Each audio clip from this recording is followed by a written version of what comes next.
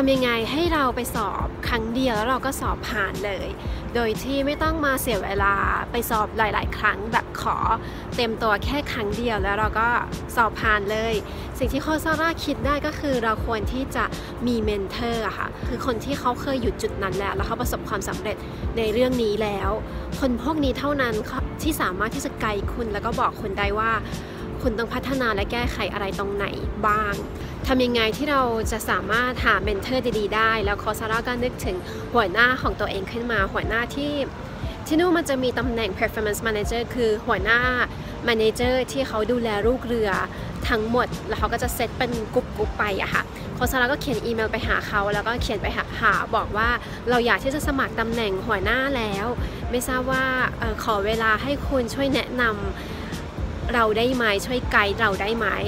แล้วเขาก็ส่งอีเมลตอบกลับมาว่าเขายินดีมากก็ให้มาหาเลย ในวันที่โค้ชซาร่าไปหาเขาอะค่ะ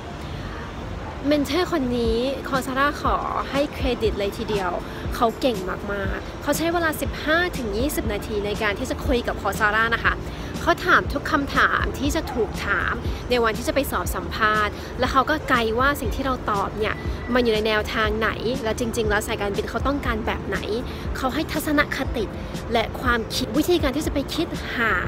คำตอบในแนวทางที่ถูกต้องนะคะ เขาใช้เวลาแค่15ถึง20 นาทีเองนะคะ แล้วคอสาร่าก็เก็ตไอเดียและเอาไปใช้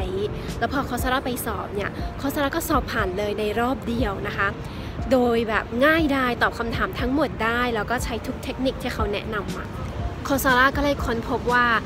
ถ้าจะไม่ให้เสียเวลาเนี่ยเราควรที่จะไปหาเมนเทอร์โดยเฉพาะคนที่เขาประสบความสำเร็จ และอยู่ในตำแหน่งนั้นแล้ว ให้เขาช่วยแชร์ ช่วยไกด์ช่วยโค้ชเรา เพื่อให้เราได้ในสิ่งที่เราต้องการนะคะ